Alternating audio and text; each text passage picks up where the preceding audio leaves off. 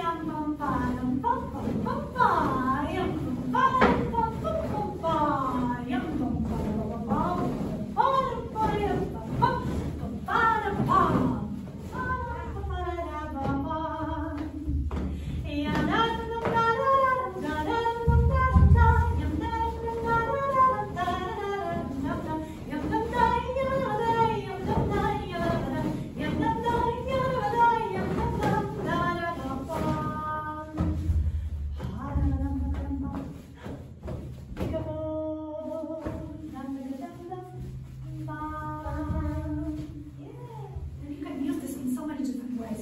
Colors with your child.